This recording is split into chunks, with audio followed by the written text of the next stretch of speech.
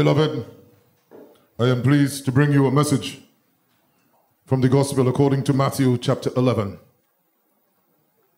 10 verses, verse 20 to 30. And I've entitled the message, The Holy Anger of God. The Holy Anger of God. I will be reading the entire text throughout the message, but for now, I will read only two verses to start with. One of the verses is from the early part of the text, and the other is from the latter part. Let's look at verse 24. Verse 24 says, But Jesus is talking, but I said to you that it shall be more tolerable for the land of Sodom in the in the day of judgment than for you. Wow, that's angry. That is angry. Jump down to verse 28 now. Come to me, all you who labor and are heavy laden, and I will give you rest. Now that's loving. Wow. Pray with me, Father. Speak now, for your children are listening. And let this word transform all of us and conform us to the image of your dear Son, Jesus, in whose matchless name we pray. Amen. You may be seated.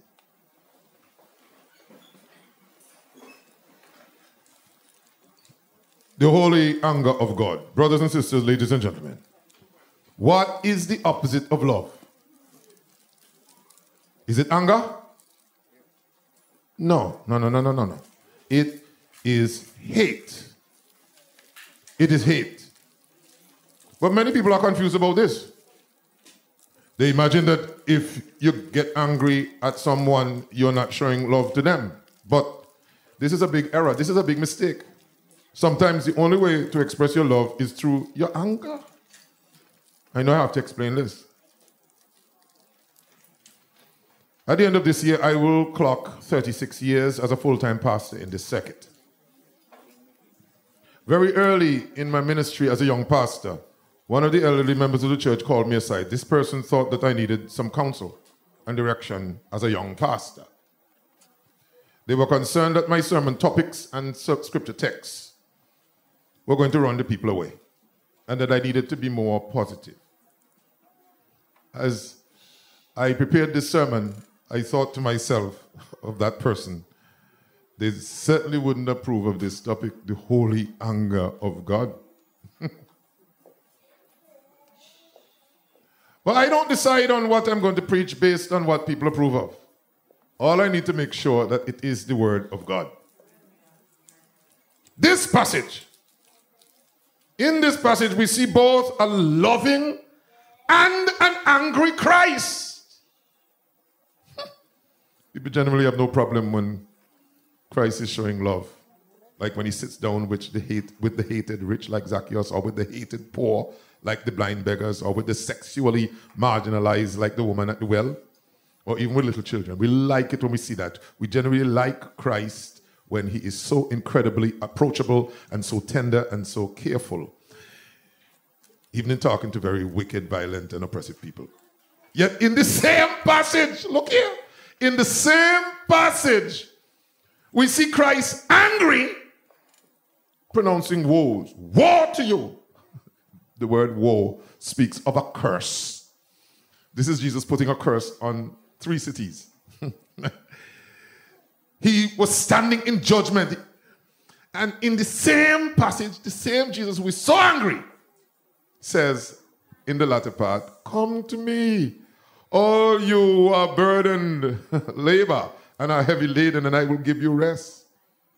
And yet he says to Chorazin, Bethsaida, and Capernaum, Woe to you! To Capernaum, he asks the question, Will you be lifted up to the skies? And he answers, No, you're going down to the depths. Same passage. He's angry, and yet he's loving. The problem here is to determine how such great wrath and it, of that intensity on the one hand, and such infinitely merciful love on the other hand, could actually issue from the same heart at the same time. There are a lot of people who struggle mightily with this whole idea. They say, for instance, if God is a God of love, then he should not send people to hell. if God is a God of judgment, he cannot possibly be a God of love. They have a problem reconciling the two things. Yet the Bible insists not only is God a God of both love and wrath, not only do we see two things, these two things not actually in conflict with each other, But these two things actually establish each other. One without the other makes nonsense. if you try to extract God's wrath from his love, if you try to surgically remove or excise God's holy judgment from his mercy, you'll actually end up holding nothing at all. Therefore, I am here this morning to tell you that the God in the Bible is both a judge and a lover. Oh, I need somebody to help me. You heard me? He is both just and the justifier. He's both a fighter for his people and a savior. Both aspects of the divine person arise from the same source, his goodness. He's a judge because he's good, and he's a savior because he is good. Have you ever tried to love somebody who's determined to destroy themselves?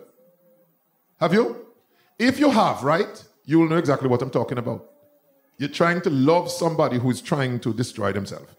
Um, uh, you will know that the opposite of love is not anger, it is actually hate. For you would have figured out if you live long enough that a truly loving relationship is going to have some anger in it. Oh, you didn't hear me. I said a truly loving relationship is going to have what? It's going to have anger in it. People who think if we love one another, there should never be anger are foolish people. It is because you love one another that very often the anger must be there. Because you're watching someone you love destroy themselves. Look, you're going to have to say something, you know. And you know saying something is going to create trouble. But what you say? I love this person too much to watch them destroy themselves. I'm going to have to say what I have to say and what happened. Does anybody here even understand a little bit of what I just said a while ago? Yes. Huh? That very often, when you really love someone, anger have to come up. Because you can't just watch them destroy themselves. You're saying to yourself, how can I remove that self destructive behavior? How can I remove the evil? How can I remove the delusion? How can I remove the bad habit without destroying the person? That is what you're thinking. Brothers and sisters, ladies and gentlemen, the loving Jesus that we read of at the end of the passage and the angry Jesus that we read about at the beginning of the passage go together. We cannot have the sweet rest at the end of the passage without the disturbance at the beginning. Our Lord is a judge, but He is also a lover. They go together, they're meaningless apart from one another. Our text gives us at least three facts about the anger, about the wrath of God. And they're very simple. Number one, the reality of God's anger. Number two, the rationale for God's anger. And number three, the remedy for God's anger. Are you all with me? This is very straightforward. The reality of God's anger, then the rationale for God's anger, and then the remedy for God's anger. Let's take them in order. Number one, the reality of God's anger. And um, we're reading verses 20 to 22 for this, where it says, Then he began to rebuke the cities in which most of his mighty works had been done because they did not repent. Woe to you, Chorazin! Woe to you, Bethsaida! For if the mighty works which were done in you had been done in Tyre and Sidon, they would have repented long ago in sackcloth and ashes. But I said to you, it will be more tolerable for Tyre and Sidon in the day of judgment than for you. Wow. He's angry. He's angry. God's anger is real. the idea of the judgment of God is largely rejected in the world today. There are plenty of people in our generation who do not reject the idea of God, but they reject the idea of a just and righteously angry God, even though Psalm number 7 and verse 11 tells us that God is angry at the wicked when? Every, Every single day. Every single day. They reject the idea of a God who is looking at us all the time and weighing everything we do, standing in judgment over us. That is generally rejected. Albert Ellis is a prominent psychologist of the past that many of the educators today like to quote. a lot of them don't see how these ridiculous ideas sometimes influence the way they teach. but he was known for something called rational emotive behavior therapy. And he actually said that all forms of religion, well, not all forms of religion, are psychologically unhealthy. But please don't get comfortable. the kind that he thinks is psychologically unhealthy is what we would call devout faith. Boy, this has encouraged a lot of people to reject the gospel, thinking that they're doing something nice, inciting Albert Ellis in their essays and dissertations. oh, yeah, thank God for the Baptist Academy of Antigua. We reject, we, we, we, reject all of this kind of psychobabble that they spout at the education colleges and departments in the universities in America and even in the University of the West Indies. Hmm. and Antigua State College. What Ellis meant by um, this devout faith being unhealthy is that he figured if you believe your Bible, that God says don't do X, Y, and Z, but deep down inside you really want to do it. You feel like your flesh, your flesh, you want to do it. He says, if you follow God or your Bible, that is limiting your choices and your options, it's limiting your happiness. He says that is psychologically too rigid and it is unhealthy. what Ellis is calling unhealthy is what most of us have called forever to be responsible living. That's what, what he calling unhealthy is what we know to be responsible living. Responsible living is when you love God and love people. Come on, talk to me. And wherever there is love, there is self restraint, there is self denial. That, that's what you do when you love people. You deny yourself for their good. This is how you love God. Jesus said, If any man will come after me, let him do what? Deny himself. Deny himself, take up his cross daily. And for, this is what you do when you love people. You don't, you don't force your way. You don't have to have it your way. This is what you do when you love people. This stupid psychologist that many are listening to is saying self restraint in a relationship of love is unhealthy. No wonder we're saying what we're saying today. To label self denial in a relationship with God and other people as unhealthy shows you how deeply people are repulsed by the idea of a God who demands it. And a God who gets angry when you don't do it. When you don't deny yourself. When you're full of yourself. God comes and says, That is right. That is wrong. And listen to me, you better adjust yourself because there are serious eternal ramifications. They say, Tal, I don't like this God.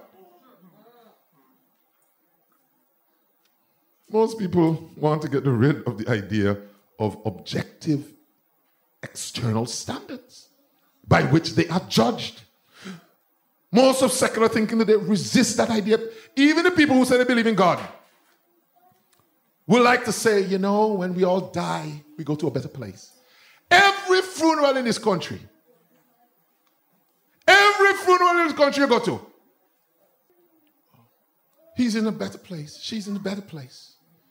They're looking down on us right now. Listen to me if you follow two the churches in this country, nobody in hell, you know? Nobody in hell. Nobody's in hell. But we know better. Because my Bible says, except you repent, what happened? You shall all likewise perish. so, what the thing boils down to is that the idea of many people is that they decide for themselves if they're okay. There is no objective standard that's going to judge them. It is their decision as to what. But, but, but this runs right against both intellectual and emotional reality. Nobody can truly believe that. Because It is quite, well, even though it's quite popular and people pretend to believe it, it's a ridiculous and unplausible notion. The fact is that most of us actually do believe that there are things that are just wrong. Come on, regardless of our publicly stated position.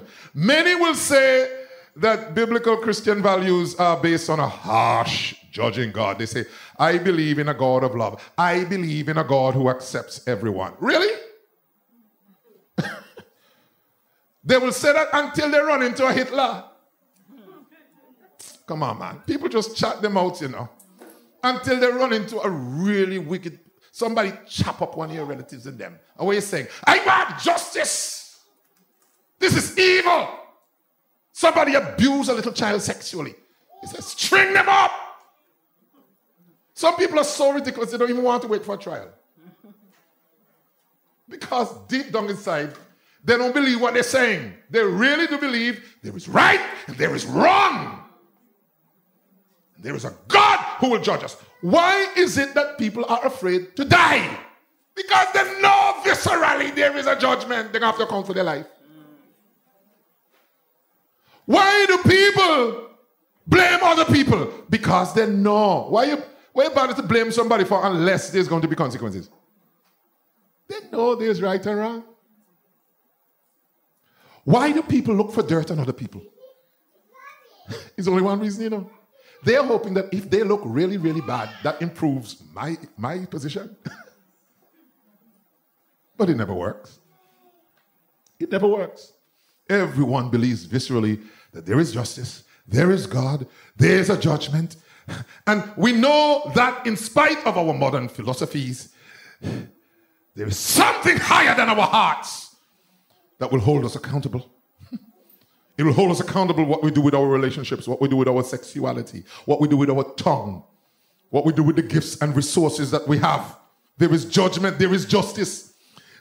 There is a fair, impartial, pure set of eyes that's watching us and keeping records and will judge us.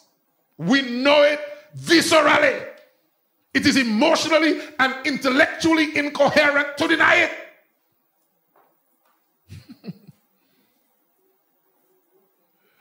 We need to stop pretending.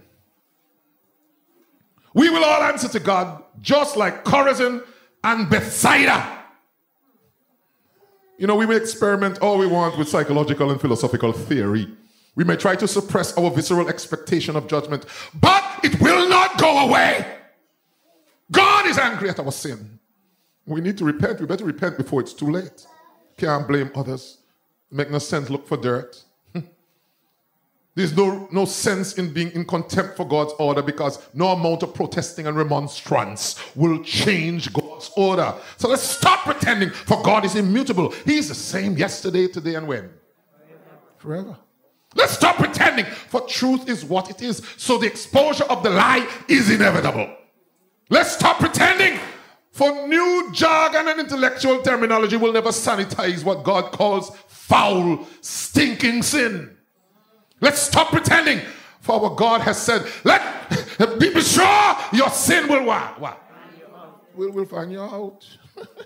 Let's stop pretending. For our sin cannot be absolved by any priest with all his movements.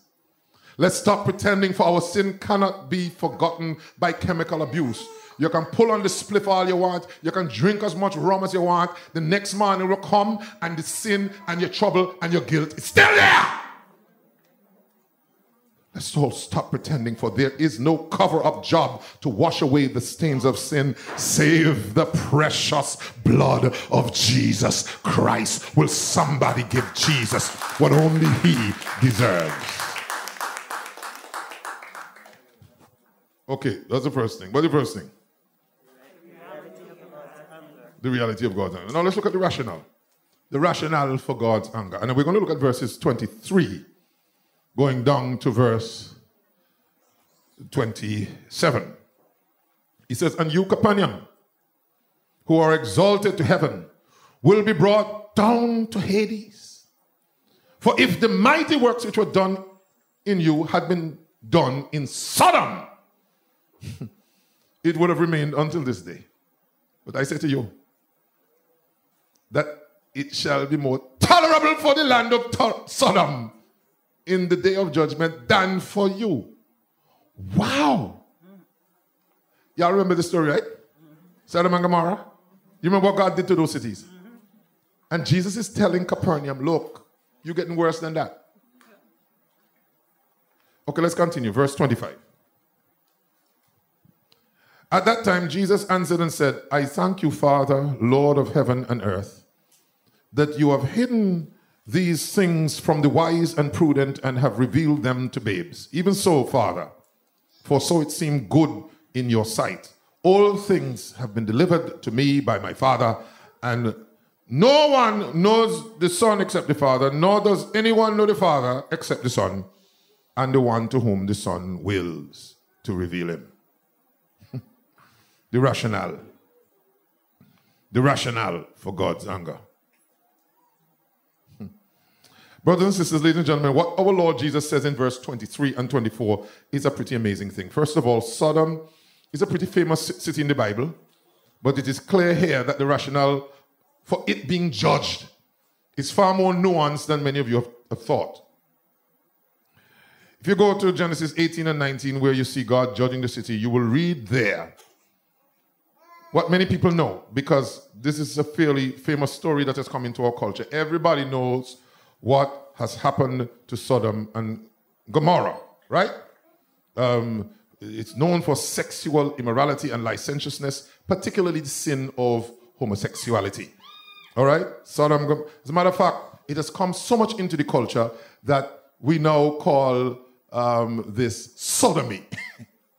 okay? So everybody knows about that and thinks about that sin when the matter comes up. This is indeed true, but it's not the whole truth. Because if you read Ezekiel chapter 16 and verse 49, God said something else about Sodom.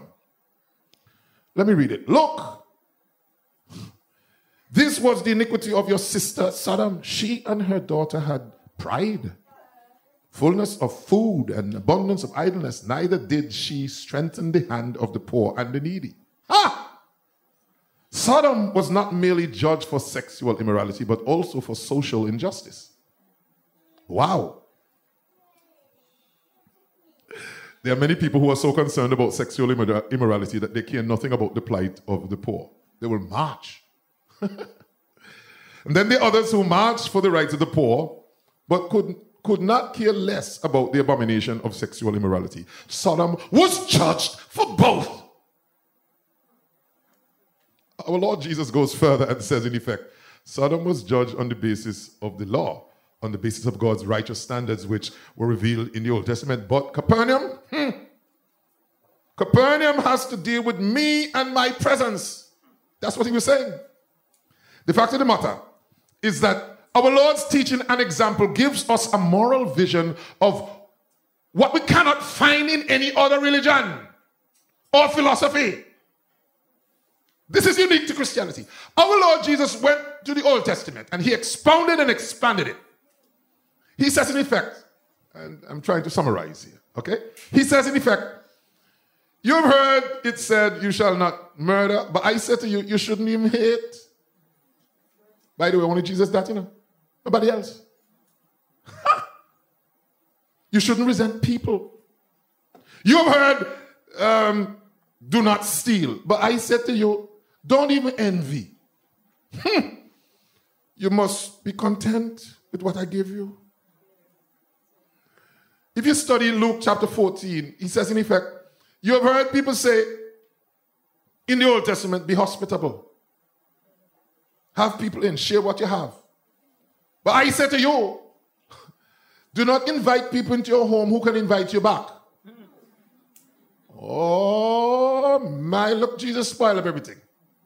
You thought you were doing good.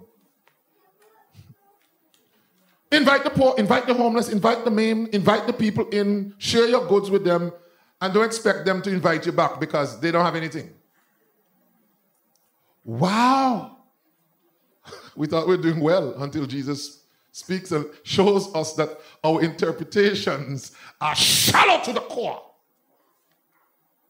you remember um, he said, um, You've heard love your neighbor, but I said to you what? Love your enemy. What? You, you mean the, the man who just tried to kill me the other day? What is this? Only Jesus talks like that. Only Jesus.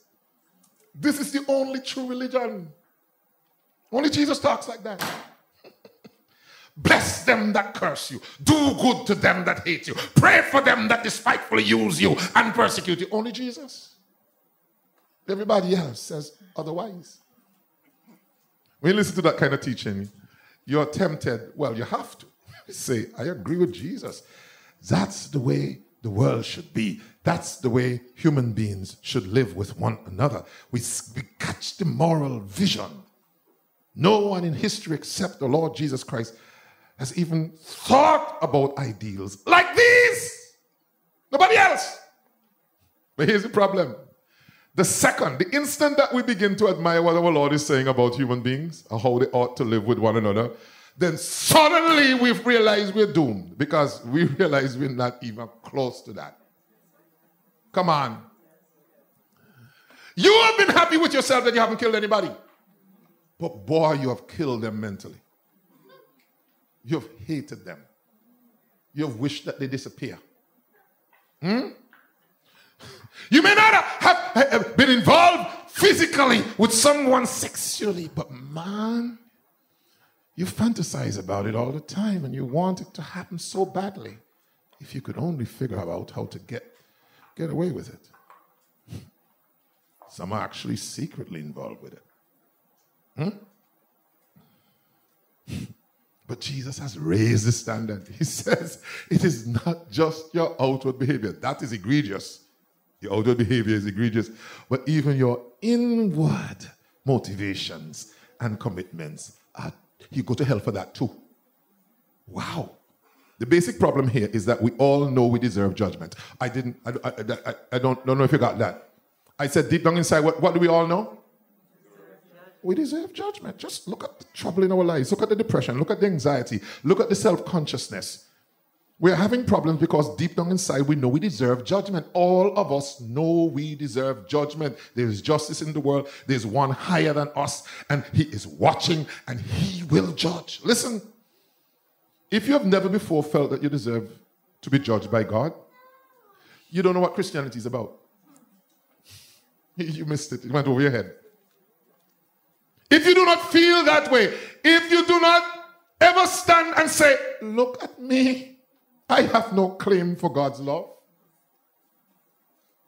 I have no claim for His love. I have no reason to, to complain. I have spent so much time complaining about my life. I don't really have a reason because what? If He should judge iniquity, who can stand? Not certainly not me. If you never talk like that, you, you don't understand Christianity. You don't know anything about Jesus. Everything went over your head. Listen, people who have truly encountered Christ in their hearts will realize that they have no claim on him at all, no reason to demand his love, no reason why uh, they, they should say that he's not fair.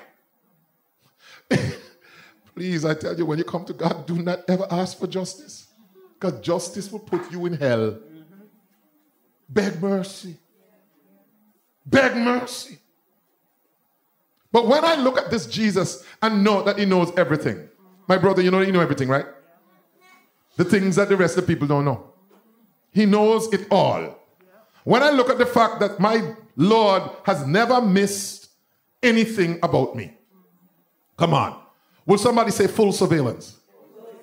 He has watched everything I've done. He has seen it all. He knows it. And yet, I'm hearing him say, Come unto me, all ye that labor and are heavy laden, and I will give you rest. Have you ever heard of more extravagant grace in your life? Isn't that marvelous? How could he say that knowing all that? Lord, our Lord tells us that he is the judge who was judged. That's why it's possible. Oh, you didn't hear me. What is he? The judge who was judged. That means that he is just and still what? the justifier of those who believe in him. You see, on the cross, both the justice of God and the love of God are perfectly brought together.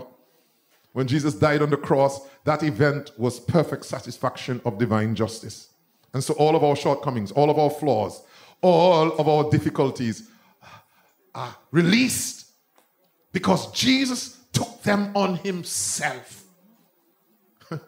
You know Amos chapter 5 and verse 24. Huh? What does he say there? but let justice what? Run down like waters and what? Righteousness like a mighty stream. That was happening in Jesus at the cross, where I first saw the light. and the burden of my heart, what? It was there. By grace, I received my sight. If you're happy, give the Lord a hand clap of praise. Take my yoke upon you and learn of me. You're not just learning what you ought to be, you're learning that He was that for you. When we understand this, we will see that every other religion says what? Strive for more understanding, strive for more effort, more, more work, more work, more work. You, you need to do better, better, better if you're going to make it in. But Jesus is saying, Come on, man, come to me. All ye that labor and are heavy laden. And guess what? I will give you rest. You know why? Because I'm going to work for you. My active and passive obedience will be sufficient to cover you. Hallelujah to the Lamb. Please understand this. If we believe that we have a claim on God's love, that love will never transform us. It will just make us more arrogant. More and more arrogant. Hmm. We will ask him, What have you done for me lately? Because what we think we're all that. We have this entitlement mentality. All right? The people whose lives are revolutionized. The people who have changed the world for righteousness and have taken the world by the throat. The people who end up with courageous faith and genuine joy are the people who first understand that they have no claim on God. None. I could never say he's unfair because if he's fair, I'm gone. I have no claim on God. None whatsoever. That's how the rest comes because the rest comes because Jesus paid it all. All. I need a witness. All. To him I owe. Sin and left the crimson stain, but what? What did he do? What did he do? Oh, give the Lord some praise. He didn't say go wash it. Because I would want to know with what? How I wash dirty clothes in dirty water? How can I wash filth with dirt? Lord have mercy. But I know that the precious blood of Jesus will cleanse us from all unrighteousness. there is rest for us, brethren, because of the work of Christ. and even though we are accountable to Him, He does not change His standard, He does not change His, his, his righteousness. He simply pays it for us. Oh, what a Savior, what a Savior, what a Savior. Ah, I am grateful today because I know what I deserve. Does anybody else know what they deserve? And I know what I'm getting. I know what I'm getting. And I know I shouldn't get it. Oh, come on now. I said, I know what I deserve, and I also know what I'm getting. And I know that I have no right to what I'm getting. I don't know about you, but I'm happy right now. Anybody else happy right now? I, I didn't ask you if you like everything that's going on. But, but basically, your happiness is going to come down to the fact that your account, the old account, uh, was settled long ago. I'm happy right now. I'm so happy. My eyes were open to the emptiness of my cries for justice for justice would have ruined me to death and eternal perdition. I'm so happy that the fiery coals of magnanimous mercy cleanse my foul and filthy mouth, turning my profanity into doxology. I'm happy that the, the, the, the light of extravagant grace removed the darkness of my victim mentality and expose the folly of my sense of entitlement. I'm so happy that God's just anger, which should have exposed me to the full brunt of his righteous indignation, was met with his forbearance and his loving kindness. I'm so happy that Jesus lifted me. That's why I'm singing glory, hallelujah. Jesus lifted me.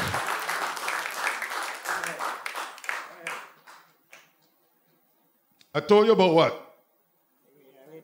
The reality of God's anger. Then, the rationale for God's anger. Let's look at the remedy for God's anger. The remedy for God's anger. We're looking at now verses 28 through 30, where Jesus said what? These sweet words. What he said? Come to me, all you who labor and are heavy laden, and I will give you rest. Take my yoke upon you and learn from me, for I am gentle and lowly in heart, and you will find rest for your souls. For my yoke is what? Easy. Easy. And my burden is what? Light. Light. Viscerally, we all believe in justice. We believe in it so much that if we foolishly dismiss the notion that there is a God who administers it, we apply for and appoint ourselves as the judge. Because what? We know there have to be a judge. Without judgment, there is no rest, for nobody will be able to confirm that they're forgiven. Whenever we have a hard time resting, we are also having a hard time forgiving other people. How do we escape the judgment of God? How do we escape this mess? Well, it comes down to something simple, you know. Chorazin, Bethsaida, and Capernaum, what did they fail to do? They failed to repent. It's as simple as that. Do you even know what repentance is? No, I could give you a technical definition, but I'll try to keep it simple. Repentant persons start to honestly question the whole basis of their life. They realize, look, I got this whole thing wrong, you know. Everything that I've been trying to get this rest hasn't worked. I've become more restless. Hmm. They admit it. You know, some people have a hard time because of their pride admitting it, that everything they've been trying to get themselves some rest in life really just made them more restless.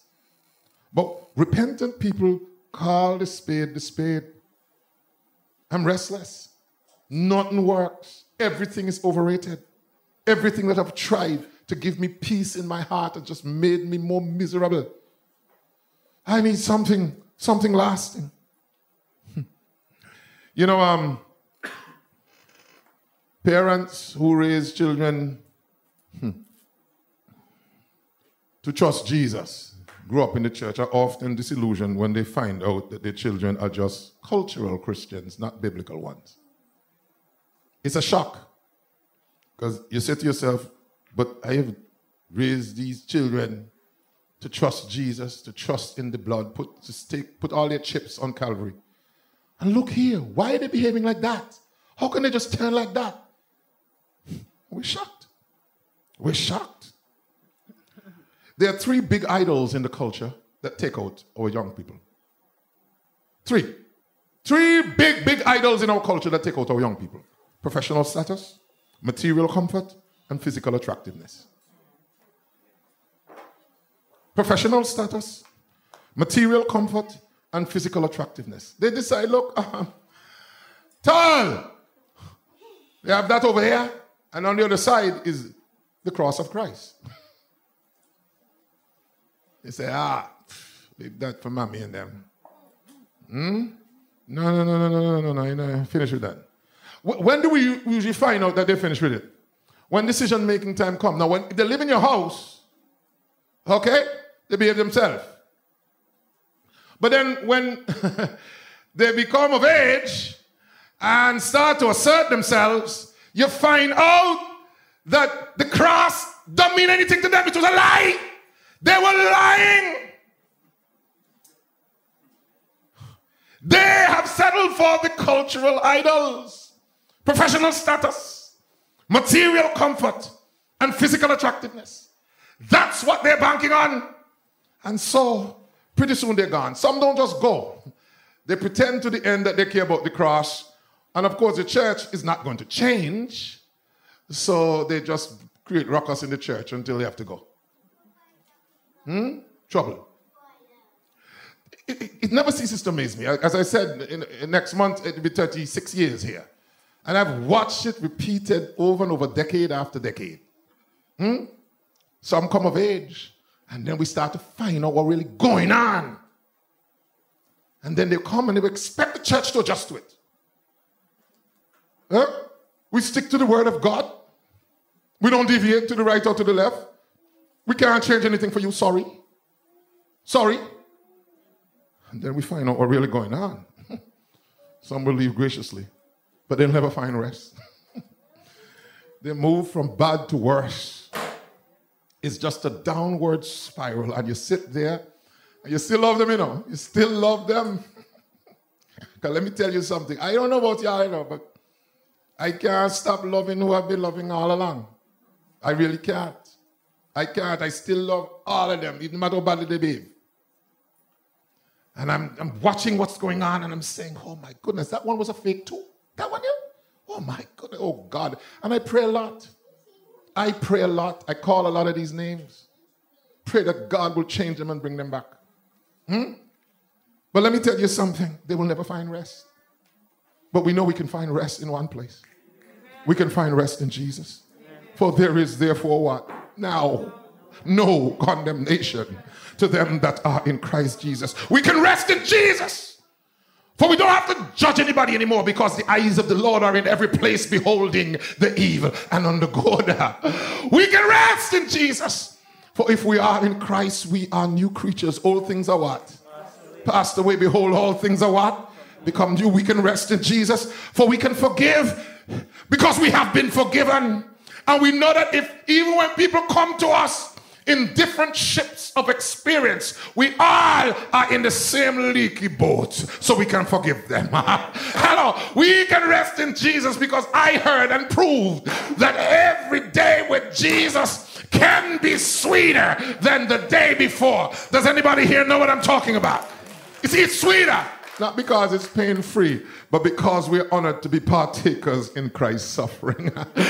it's sweeter, not because it's a devil free zone, but because greater is He that is in us than He that is in the world. It's sweeter, not because we're strong, but because God's grace is sufficient for us and His strength is made perfect in our weakness. It's sweeter, not because we're consistent, but because Jesus is the same yesterday, today, and forever. It's sweeter, not because of smiling providences but because we have learned that even in the frowning providences, we will bless the Lord at all times. His praise shall continually be in our mouth. It's sweeter, not because we are sinless, but because we have an advocate with the Father, Jesus Christ the righteous. Hallelujah, hallelujah to the Lamb of God. We can rest because Jesus is sweet. He's the sweetest name I know. I heard that he's just the same. Well, does anybody know what I'm talking about? I heard that he's just the same. What? As his lovely name. And that's the reason why I love him so. Why? Jesus is the sweetest name I know. My sinful nature, covered. My sinful record, covered. My remaining corruption, covered. Uh, my constant need for guidance, uh, covered. My restful inheritance in glory, uh, covered. Don't you want that kind of rest? That's why he said, Come unto me, all ye that labor and are heavy laden, and what? I will give you rest. Hallelujah to the Lamb. Amen.